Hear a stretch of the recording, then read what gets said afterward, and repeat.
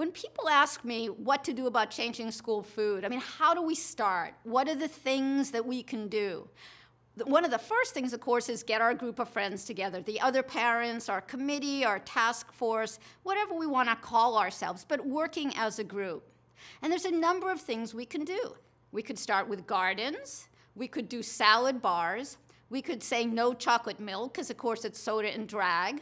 We could say we should stop selling junk food in vending machines. But pick one thing. Pick the one thing that's most important and most egregious in your school. I mean, if we have ice cream for desserts in schools, that's a big thing. We should not have ice cream. We should not have chocolate milk. We should not be feeding our kids sugar. So look around, volunteer in your school, look at all the different things, do a little assessment, and pick the first worst thing. Pick one thing. Don't try and do 10 things at once. Pick one thing, and whether it's something really bad you want to get out or really good you want to get in, work on that. Start thing by thing, one thing at a time, and you'll find that you can make change. And once one thing changes, you can change another. So maybe you get a salad bar, and maybe you get a garden, and you get rid of the chocolate milk, and you get rid of the high fructose corn syrup, and you get rid of the trans fats. And wow, maybe you could have organic something or hormone and antibiotic free beef. But it's one thing at a time and just keep walking down that road. And you'll see